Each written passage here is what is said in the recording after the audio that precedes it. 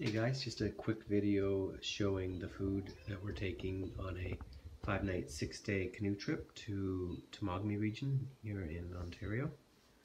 Uh, this is enough food for two people. Probably more than enough food, but I'll, I'll show you what we got. For our breakfasts, we have oatmeals for most mornings. Uh, there's two packages each in there for four mornings.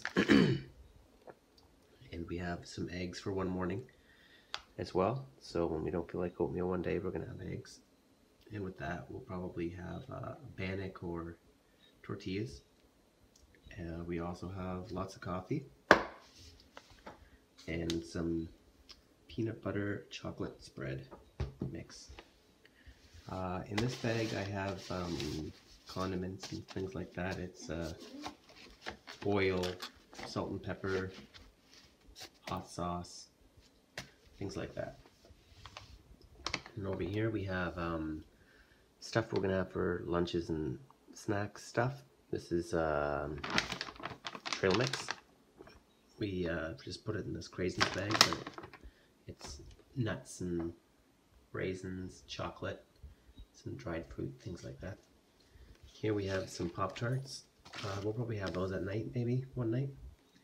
Uh, here we have an assortment of chocolate bars, high in calories, which is great. Uh, here we have some brownie mix. Uh, it's been sitting in the food barrel for about four years, so we might even use it this time. Here's some dried fruit. We normally make our own dried fruit and bring it, but we found this at a good price, so we probably pick it up. And then for lunches, we have uh, tortilla wraps, um, pepperoni sticks, cheese, and with that we also have uh, mustard, mayonnaise. Uh, we have some kielbasa as well. And one morning, or one uh, for one lunch, we'll probably have this. It's a couscous uh, salad. And uh, down here we have uh, hot dogs for at night. And over here is our first supper. It's going to be steaks. We buy these uh, steaks we find at Walmart. They're uh, they're vacuum sealed, which is great for carrying. So we keep them frozen before we leave, and then we throw them in the barrel in the morning. We got potatoes, steaks, and with that we'll probably have uh, some bannock. For another meal, we have uh, we're gonna have macaroni and cheese, and with that we're gonna have uh, bacon bits and some bannock. For another meal, we're gonna have pasta. So we have some noodles here, some dehydrated pasta sauce that I made, and we have some ground beef with it as well.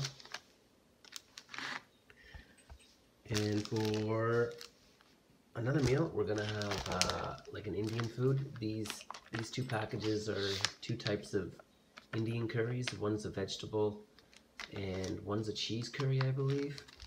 And we have two different kinds of uh, rices to have with that. These are pre-cooked rices, so all you really have to do is heat them up. You don't have to add water or anything, which is handy.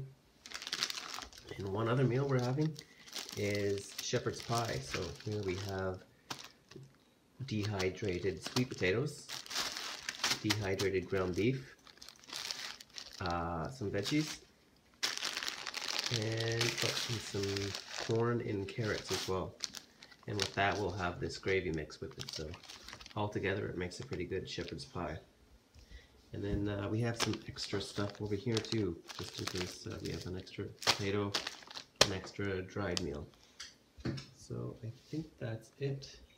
So that's enough food for two people, six days. Thanks for watching.